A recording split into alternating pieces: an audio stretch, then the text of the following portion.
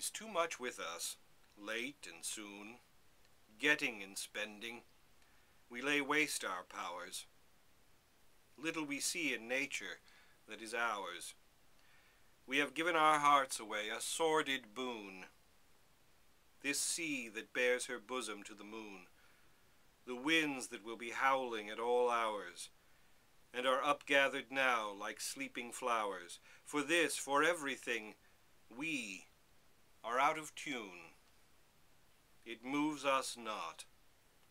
Great God, I'd rather be a pagan, suckled in a creed outworn, so might I, standing on this pleasant lea, have glimpses that would make me less forlorn, have sight of Proteus rising from the sea, or hear old Triton blow his wreathed horn.